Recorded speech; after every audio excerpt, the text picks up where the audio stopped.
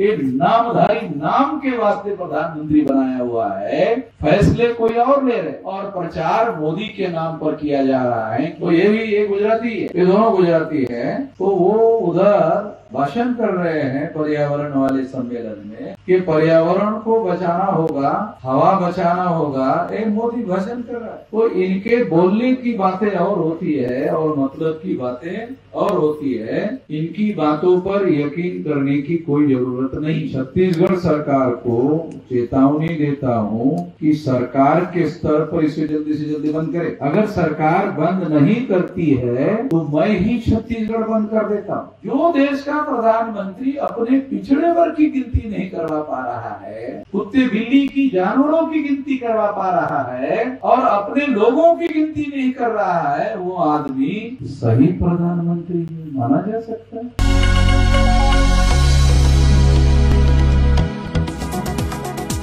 और हमारे देश में अडानी का जो भाई है मोदी, अडानी का भाई मोदी ये भाई है उसका, क्योंकि मोदी भी गुजराती, और ये ये भी गुजराती है, अडानी है ना? हाँ। तो ये भी, ये गुजराती है ये दोनों गुजराती है।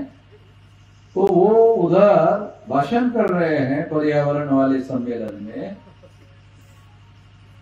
कि पर्यावरण को बचाना होगा। हवा बचाना होगा, एक मोदी भाषण कर रहा है। और यहाँ जब पर्यावरण और हवा बचाने का मामला आया तो उसकी तरफ़ ध्यान नहीं दे रहा है, भाषण ज़रूर कर रहा है। ध्यान नहीं दे रहा है। तो इनके बोलने की बातें और होती है, और मतलब की बातें और होती है, ये बार बार ये बात सामने आती है। इसलिए इनकी बातों पर यकीन करने की कोई ज़रूरत नहीं। हम लोग यकीन नहीं करते हैं, जो लोग इस आंदोलन को लोकल में रखकर समाप्त करना चाहते थे, मैं छत्तीसगढ़ सरकार को चेतावनी देता हूँ कि सरकार के स्तर पर इसे जल्दी से जल्दी बंद करे। अगर सरकार इसे बंद नहीं करती, क्योंकि सरकार के पास है, सरकार के नियंत्रण में है, इसे सरकार बंद कर दे। अगर सरकार बंद नहीं करती है तो मैं ही छत्तीसगढ़ बंद कर देता हूँ। मैं तो पहले भी भारत बंद कर चुका हूँ। छत्तीसगढ़ छोटा सा है।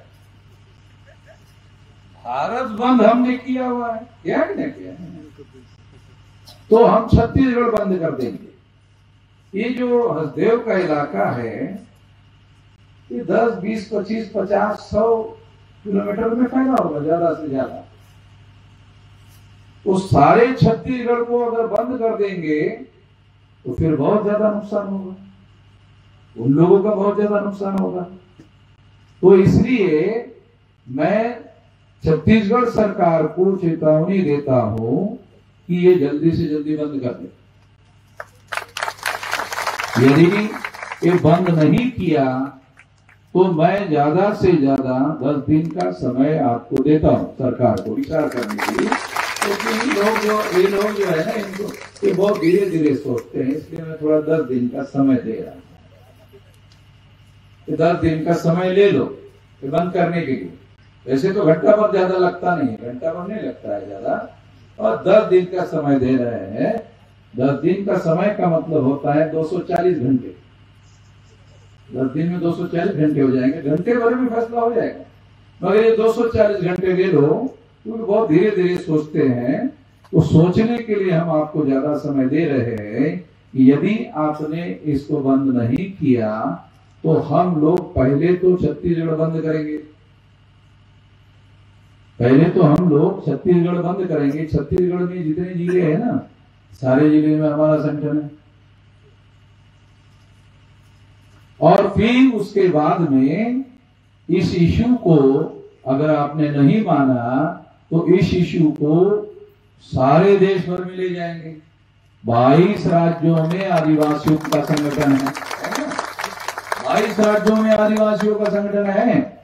हमारा वाम से भारत मुक्ति मोर्चा, बहुजन क्रांति मोर्चा का संगठन बत्तीस राज्यों में है। तो अब ये मामला दूसरी एक बात। ये मामला अब केवल आदिवासियों का नहीं रहा है। अब ये मामला S C S T OBC, minority के पचासी परसेंट लोगों का मामला हो गया है। तो इसलिए इस इलाके में अभी आने वाले समय में 2024 है और अभी मई तक चुनाव होने हैं। तो इन लोगों को घूमना पड़ेगा ना इधर।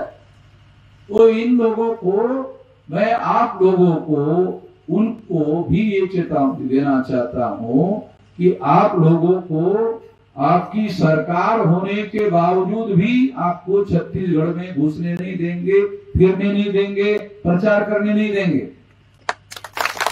और आदिवासी लोग ये बात तय कर लो। लोकतंत्र का क्या मतलब है? लोकतंत्र का मतलब है लोगों के पास है ना पावर। आज आपका मुख्यमंत्री बना हो, कौन है? विष्णु देव अरे विष्णु देव आदिवासी का भी ऐसा नाम विष्णु देव अरे तो ब्राह्मणों का देव है विष्णु। इसमें आदिवासी का कहा है? आदिवासी का और विष्णु का क्या लेना देना? है? विष्णु देव। अब मुझे किसी ने बताया कि आदिवासी का उसको मुख्यमंत्री बनाने के बाद उसके गाँव में गए तो उसके गाँव में ही लोगों ने जूते मारे गाँव में ही। गलत सलत बात करने की वजह से आदिवासियों ने उसको ही जूते मारा।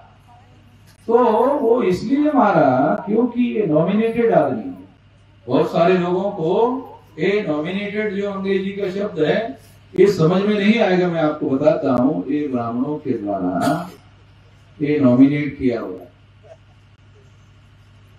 तो नॉमिनेटेड अंग्रेज़ी में बोलते हैं और हिंदी में बोलते हैं नामधारी। नॉमिनेटेड का मतलब नामधारी। दिखाने के लिए रखा हुआ काम तो हमारा नहीं कर रहा है, काम तो उनका कर रहा है। तो उसका मतलब दिखाने के लिए बनाया हुआ है मुख्यमंत्री है, जैसे मोदी दिखाने के लिए बनाया हुआ है। मोदी को भी दिखाने के लिए प्रधानमंत्री बनाया हुआ है। अब बोलेंगे एक किस आधार पर बोल रहे हैं दिखाने के लिए। तो मोदी को जब प्रधानमंत्री बनाया गया तो आरएसएस के ब्राह्मणों ने, बीजेपी के ब्राह्मणों ने ये प्रचार किया कि हमने पिछड़े वर्ग के आदमी को प्रधानमंत्री बनाया। ऐसा कहा था। आप लोगों ने भी अखबार में पढ़ा होगा, देखा होगा, कहा था। तो हमने फिर माना क्या? यार पिछड़े वर्ग के आदमी को प्रधानमंत्री बनाया तो ये पिछड़े वर्ग के लोगों की गिनती करेगा, प्रधानमंत्री होने के बाद। अब दस साल पूरे हो गए। लगभग दस साल, साढ़े नौ साल तो पूरे हो गए, पौने दस साल हो गए।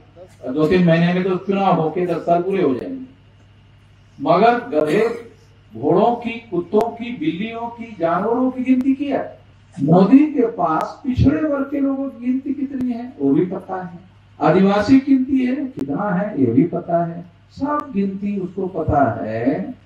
मगर जब प्रधानमंत्री बने, तब उनको कहा गया, अरे भाई, फिर सारे देश भर में गिनती करने का काम जो है, हर दस साल में होता है तो अभी 2024 चल रहा है 21 में होना चाहिए था।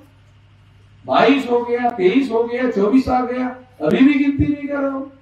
जो देश का प्रधानमंत्री अपने पिछड़े वर्ग की गिनती नहीं करवा पा रहा है कुत्ते बिल्ली की जानवरों की गिनती करवा पा रहा है, और अपने लोगों की गिनती नहीं कर रहा है, वो आदमी सही प्रधानमंत्री है माना जा सकता है। तो नामधारी है।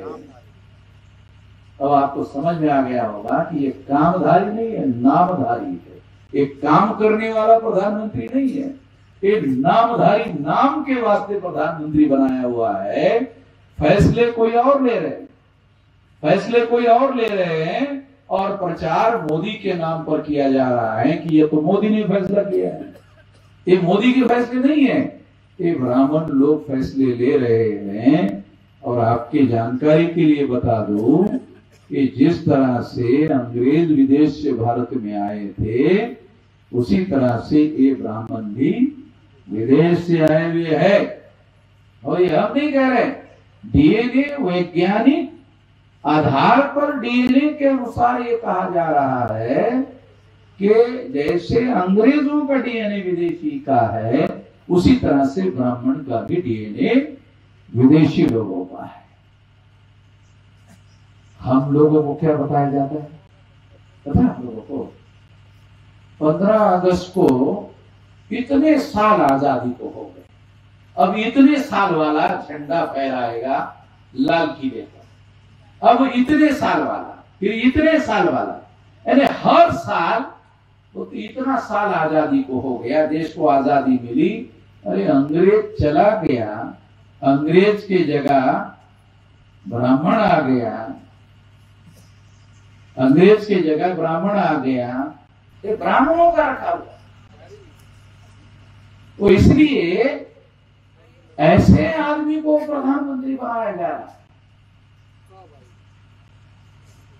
तो कुछ लोग ऐसा कहते कि आप तो इतना सख्त भाषा में मोदी के विरोध में बोलते हैं, वो अरेस्ट क्यों नहीं करते? गुजरात में मुझे अरेस्ट किया था। ऐसा नहीं कि नहीं किया। मैं अभी छत्तीसगढ़ तो मोदी का स्टेट नहीं है ना।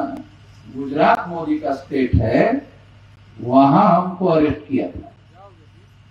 तो रात के दो तीन बजे असिस्टेंट पुलिस कमिश्नर हमारे पास दो तीन बजे रात में। हमको कहने लगा, असिस्टेंट पुलिस कमिश्नर कहने लगा कि सरकार कह रही है ये गलत हो गया। उन्हें क्या गलत हो गया? कि आपको अरेस्ट किया, ये गलत हो गया। क्या क्यों? हमको अरेस्ट किया तो सरकार को गलत क्यों लग रहा है? तो खुशी वहाँ के। नहीं, सरकार को ऐसा लग रहा है ये निर्णय गलत हो गया है। वामन मेश्राम को अरेस्ट नहीं करना चाहिए था। क्यों? सारे देश के पूरी चौकी को घेर लिया उनके लोगों ने। सारे देश के। क्यों घेर लिया? हर जगह ना संगठन है हमारा। है? हर जगह संगठन है। तो हर जगह हमारे लोग जो है पूरी चौकी को घेर दिए वहाँ के इंस्पेक्टर ने गुजरात के इंस्पेक्टर को टेलीफोन किया, अरे तुमने क्या किया भाई? ये इधर हमारा सरदर्दी बढ़ा रहा है। तुमने गुजरात में गलती किया सारा इधर हम लोगों को बिहार में, बंगाल में, उत्तर प्रदेश में, झारखंड में, उड़ीसा में और तमाम राज्यों में हमारी सरदर्दी हो गई। क्या कर लिया? तो हम सख्त भाषा में बोलते हैं, तब से सरकार हमको अरेस्ट नहीं करती। क्यों? क्योंकि उनको ऐसा लगता है इसको अरेस्ट करने से इसको ज़्यादा समर्थन मिलता है, ज़्यादा लोकप्रियता बढ़ती है। 9 अगस्त 1942 को क्विट इंडिया मूवमेंट चलाया, भारत छोड़ो आंदोलन चलाया, और उसके बाद अंग्रेज़ों को भारत छोड़कर जाना पड़ा।